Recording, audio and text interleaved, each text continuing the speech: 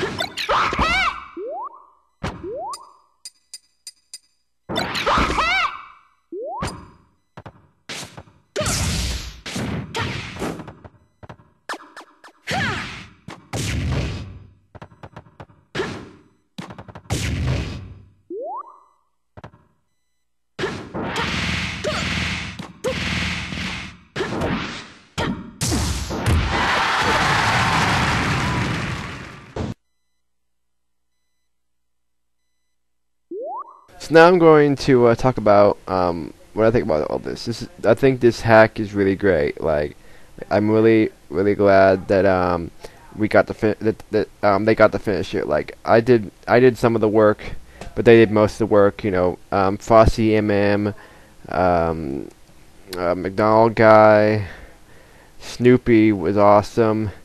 Um, what's his name?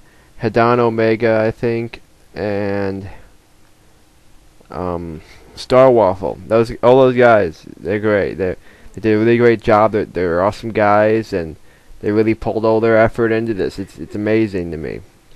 I really appreciate it, and I'm glad that I was able to um like help out this team, and uh, you know, I'm glad I was a part of this, and I'm glad we just got to finish this off, and uh, it's almost done. We've of course you saw in, in that earlier that there's that glitch with the uh, the the up B and like you touch the where the up B uh, the move fell and it instantly kills you. That that's a that's a problem. That's a problem. But um, they're working on it. They're gonna they're gonna fix it. They're gonna fix it. So don't worry about it. Don't worry. They'll fix it.